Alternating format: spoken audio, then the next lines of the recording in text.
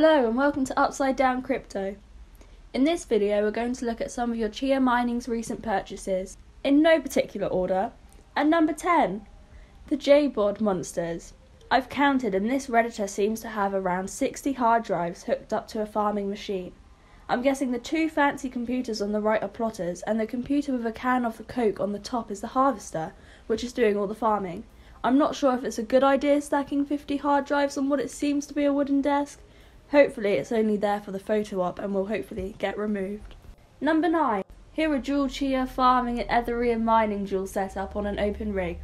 I've read the comments and it seems that tiny external SSD on the floor is doing all the plotting and the SATA hard drive and the large external hard drive are responsible for farming.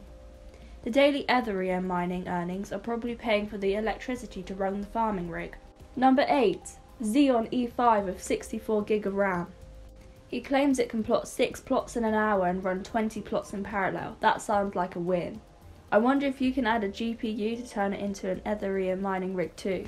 Number 7. The Twin Mac Mini Setup.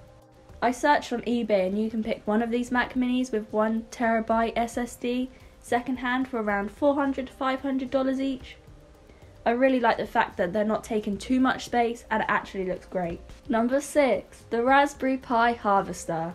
This is a Raspberry Pi 4B farming setup which will consume very little electricity.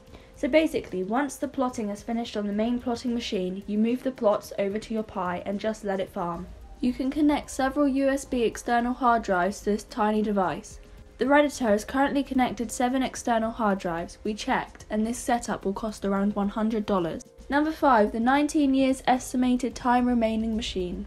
This laptop is producing one plot every 10 hours, as you can see, to win a Chia coin with this rate will take him 19 years, but obviously as more plots are added to the hard drive, that time will decrease. So it's normal to have such a large number after finishing your first plot. If you're just starting to mine Chia, you'll probably see even a larger number. That's because the Chia network size is growing on a daily basis. Number 4. Another Ethereum Chia dual mining rig. I couldn't figure out what the CPU and RAM specs are for this beautiful setup with a 1000D tower. I think it's on wheels because this thing weighs a lot. There are three Radeon 7 GPUs installed in the tower, which at the current market are generating $20 worth of Ethereum per day.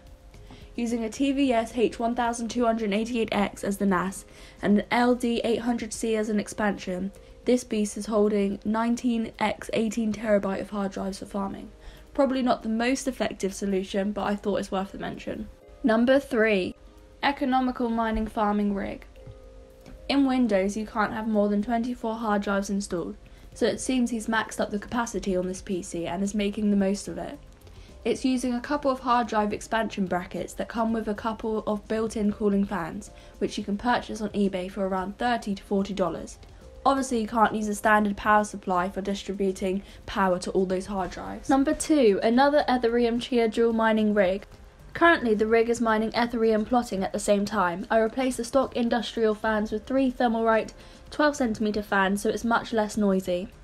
An M.2 to PCIe card is also mounted with 1TB Samsung SM961 inside and it's producing 9 plots per day. The rig has been plotting over the past 2 weeks and previously it's been using Corsair stock power cables but they were not easy to install and maintain at all. Today I put on these custom power cables and it looks much neat and clean. I've been plotting and harvesting for 2 weeks. Best day I could do 40 and up plots a day with multiple computers but some days I woke up to find Chia GUI stuck and had to restart the plotting queue. I've also accidentally deleted 40 plots on one hard drive and wasn't able to recover them.